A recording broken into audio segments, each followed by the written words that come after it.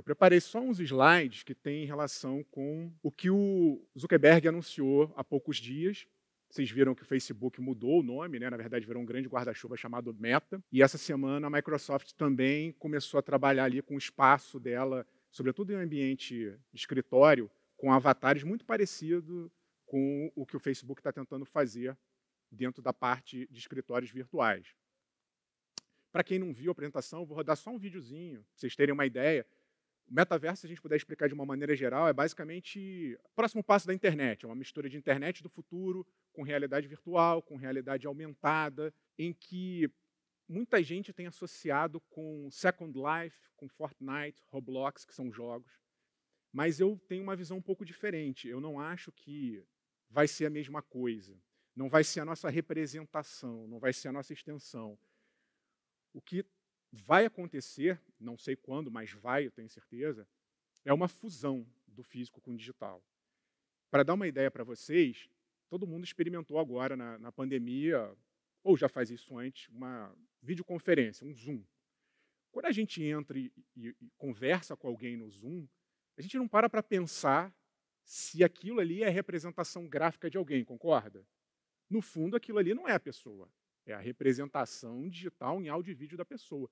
Mas a gente não para para pensar, a gente conversa com a pessoa numa videoconferência como se fosse a coisa mais natural do mundo. O conceito geral para mim de metaverso é esse: é quando a gente tivesse bando de tecnologia, não sei se alguém aqui já experimentou realidade aumentada ou virtual, mas quando a gente coloca os óculos de realidade virtual, é como se a gente parasse o nosso mundo, colocasse uma outra camada e fosse transportado. Ou a mesma coisa de um jogo. Você vai para o jogo mesmo que você sinta aquela adrenalina ali, você sabe que você está num outro momento. Tem uma, uma quebra. E o conceito de meta, para mim, ele só vai existir quando a gente esquecer. Vocês poderiam agora estar me assistindo em casa, com o aparelho de vocês, sem a necessidade de ter vindo aqui, mas com a mesma experiência, ou muito parecido, ou pelo menos sem se preocupar com isso. Eu fiz uns prints da apresentação do Zuckerberg. E eu vou destacar só alguns pontos aqui para tentar explicar onde ele quer chegar é, com essa história. Veja, ele está ali falando de presença, avatar, teleportar, ou seja, ele quer que a gente tenha essa sensação que você, se for para um outro lugar, você não perceba que você está fazendo essa viagem virtual.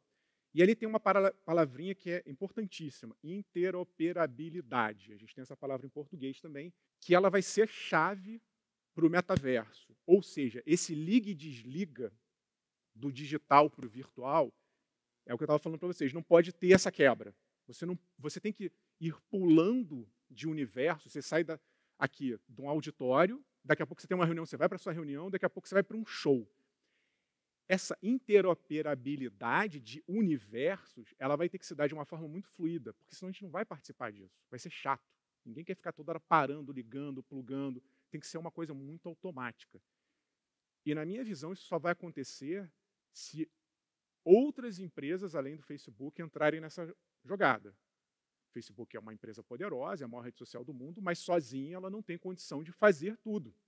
Né? Então, por exemplo, aqui, a Cidade das Artes teria que entrar na jogada para fazer parte e esses sistemas todos se comunicarem. É a mesma coisa, a gente pegando aqui de novo o exemplo da videochamada. Você não fica mudando de internet, você usa o Google Meet, o Zoom ou FaceTime, seja lá qual for, você aperta um botão e funciona.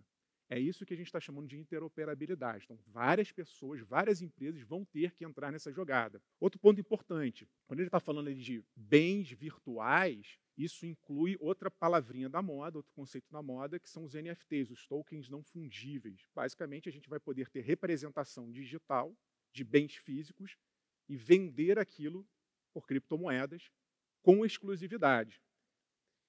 Isso é uma quebra de paradigma, isso já está acontecendo agora, mas se a gente jogar isso para o contexto do meta, vai ser mais, mais potente, mais poderoso. Por quê?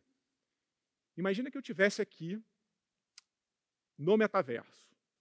Esse palco aqui, muito bem feito, a equipe de produção trabalhou lindamente, né? olha só coisa sensacional. Mas isso tudo aqui é físico. Alguém comprou, alguém fez, alguém construiu isso aqui. Alguém fez isso. A gente vai poder fazer isso digitalmente. Veja, muda completamente várias profissões. Essa galera, a galera toda aqui do áudio, do vídeo, da cenografia, A gente vai poder fazer isso tudo virtualmente, digitalmente. E vai poder cobrar por isso. Como é que você cobra pela exclusividade? Bom, eu garanto que o meu cenário virtual é o melhor de todos, com NFT, com criptografia, com ponta a ponta garantido. Eu vou vender. Você pode comprar de quem você quiser, você pode pegar lá uma imagem, fazer um cenário, igual a gente faz um, um backdrop de zoom, mas você quer o mais maneiro, 3D, com ambiência, a galera do som com som espacial, compra de mim, porque eu estou desenvolvendo melhor. Vai mudar completamente várias indústrias. Interfaces naturais é o que eu estou dizendo para vocês. Tem que ser simples. Enquanto tiver fricção, não funciona. E eu sei porque eu já tive mil óculos de realidade virtual e, sobretudo, os mais complexos com, com tecnologia áptica, ou seja, de sensação. Eu já vesti colete, luva. É sensacional, mas dá um trabalho. Enquanto a gente não conseguir fazer isso de uma forma como se fosse aqui nos meus óculos, eu não precisar fazer nada, estiver conectado o tempo inteiro, só quando a gente chegar lá eu acho que vai funcionar. E aí eu fiz print também de um dos engenheiros, está na apresentação, tá? quem quiser está disponível a apresentação do Facebook, onde ele destaca o que vai ser necessário para essa construção. Facebook comprou uma empresa chamada Oculus, tempos atrás, pagou alguns bilhões, e hoje desenvolve equipamentos nessa, nessa área. Veja, uma coisa que eu chamo a atenção, display e áudio é o que a gente mais conhece, então os nossos sentidos principais são sempre visão e depois audição, mas o barato vai ser quando a gente começar a misturar a tecnologia áptica, você vê que tem ali o traqueamento das mãos, eles já estão muito avançados nisso, o traqueamento dos olhos, porque a nossa sensação de realidade nesse universo imersivo, ela vai se dar quando eu estiver olhando aqui para as minhas mãos e as minhas mãos representarem os gestos. E mais, quando eu puder sentir, eu já experimentei, é bem legal. Eu já coloquei luva áptica, então eu poderia sentir o peso desse passador de slide. Você pega, segura e sente. E o teu cérebro processa aquilo de uma maneira muito interessante. Mas, como eu disse para vocês, ainda são equipamentos pesados. Só que as indústrias estão trabalhando para que isso seja feito. Né? No próprio device aqui, o headset, ele faça o escaneamento da sua íris, para onde você está olhando, o escaneamento do seu corpo, das suas mãos, e o escaneamento do seu espaço físico. Então, ele vai medir que essa sala aqui tem 5 por 5 metros, e ele constrói um cenário em tempo real a partir desse mapeamento. Notem que isso exige, obviamente, um superprocessamento, tanto por parte do equipamento, e aí inclui sensores, é, computação de visão, ciência perceptual e inteligência artificial. Porque o que vai acontecer é nós vamos ter que juntar computação de borda, que, que é o que está sendo processado aqui. Então, se eu estou com o meu, meu aparelho aqui, ele vai ter que estar o tempo inteiro medindo, interpretando, processando e gerando informação para o meu cérebro sem delay. Quem já teve experiência de realidade virtual sabe que os primeiros modelos a gente tinha um lag, tinha um, um atraso, e isso dava um cansaço, um enjoo às vezes, inclusive. Mas veja, o nosso cérebro é muito inteligente, ele está ali, quando eu olho para cá, ele tem que, meu campo de visão tem que fazer assim e o cérebro processar. Fazer isso com tecnologia é muito desafiador. Né? Tem que estar tá filmando, medindo, processando e, se for uma construção gráfica, criando em cima, em tempo real, com um milissegundo, se, se possível.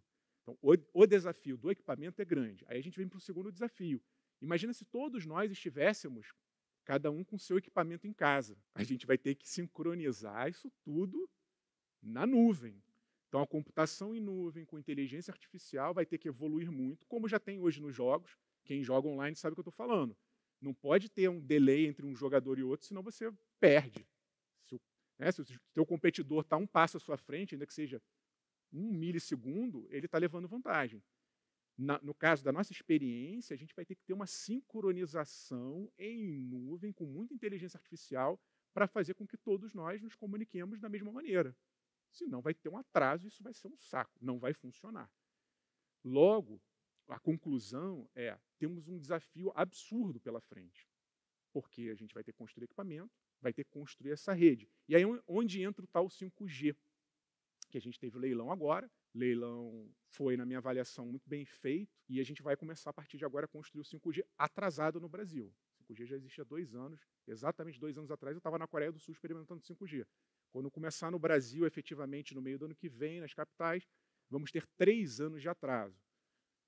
De qualquer forma, é essa base, junto com essas tecnologias de nuvem e de, e de borda, o 5G é o que vai dar liga nisso tudo. É aí que eu queria chegar, tá? Por quê? A ideia é que a gente não fique preso a fio, é que a gente não fique preso em casa, é que nós tenhamos equipamentos, headsets de realidade virtual, aumentada, smartphone, seja lá o que for, em que não haja tempo de resposta de atraso, em que eu não tenha que ter aquele trabalho apertar botão. Quando eu tiver isso tudo conectado com 5G e lá para frente o 6G, aí a gente vai poder ter essa base. Resultado geral: é, metaverso não é para amanhã, Metaverso não vai acontecer agora, mas ele vai acontecer. Eu, eu acho que ele vai acontecer porque ele é um movimento natural e talvez o que a gente tem para explorar pela frente. Né? Senão a gente vai ficar na internet 2D em tela e eu acho que em algum momento a gente vai olhar para esse retângulo aqui e vai achar isso aqui jurássico. Pô, eu ficava com o retângulo na mão fazendo assim. É, a, gente, a, a ideia é que a gente volte para a natureza, de alguma forma, em que nós andaremos, conversaremos com interfaces gráficas combinadas com a realidade de maneira natural, que foi um, um dos slides aqui que eu estava mostrando para vocês. Mas a gente tem um longo caminho.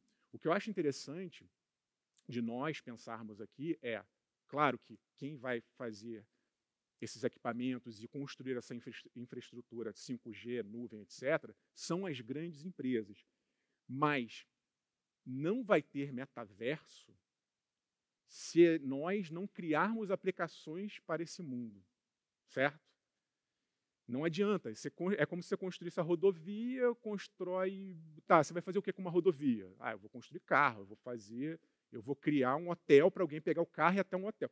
A gente, seja lá em que setor que a gente tiver, nós vamos ter que construir conjuntamente ambientes, aplicações, experiências, para que isso funcione, para que isso se popularize. Porque hoje a gente tem lá 2,8 bi de pessoas mensalmente no Facebook. Para a gente levar quase 3 bi de pessoa para esse outro ambiente, tem que ter coisa muito interessante ali. É difícil competir com a realidade. A realidade, agora que a gente está voltando aqui ao nosso convívio presencial, é muito legal. As experiências de um show, de uma conferência como essa. Competir com isso não é fácil. Isso a gente só vai competir quando a gente vê uma experiência tão ou melhor e nós todos teremos que fazer parte dela.